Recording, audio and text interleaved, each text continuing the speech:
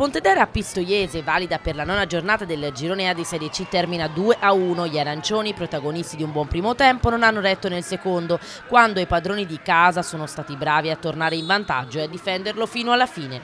La gara al Mannucci inizia su ritmi alti e piacevoli, due squadre che si affrontano a viso aperto come era prevedibile che fosse.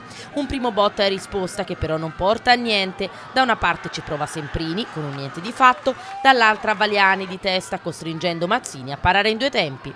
Al sedicesimo minuto di gioco c'è il vantaggio del Pontedera, cross di Ropolo per Semprini, il cui tiro viene deviato per i Granata da Camilleri, 1-0 per la squadra di Maraia. Tre minuti più tardi calcio di rigore per gli arancioni, fallo di Ropolo su Gucci, dal dischetto Valiani prende il palo, ma sulla respinta Vitiello è bravo a pareggiare i conti, 1 a 1. Terminano così i primi 45 minuti.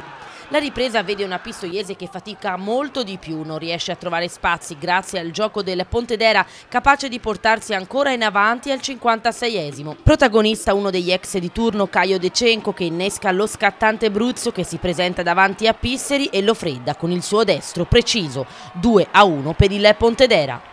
Manca la reazione degli ospiti che faticano ad essere pericolosi, padroni di casa che giocano spesso sulle ripartenze. All'87esimo Bernardini va vicino al gol, ma Pisse salva tutto. Più tardi Cappelluzzo di testa non c'entra lo specchio della porta.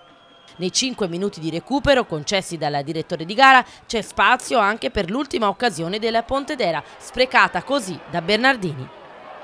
Un KO che interrompe la striscia positiva della Pistoiese che si ferma a 10 punti in classifica. Pontedera invece che continua il suo magico momento. Con questi tre punti raggiunge l'Alessandria quota 18 in terza posizione, meno 2 dal Renate secondo e meno 6 dal Monza capolista.